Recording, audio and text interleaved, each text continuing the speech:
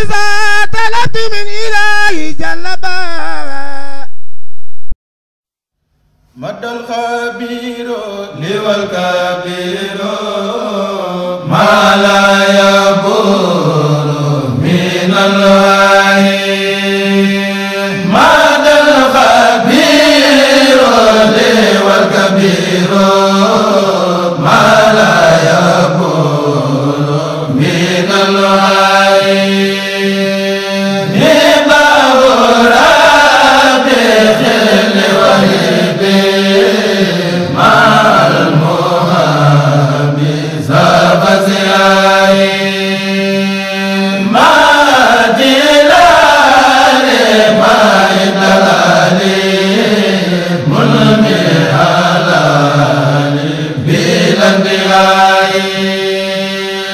Mandi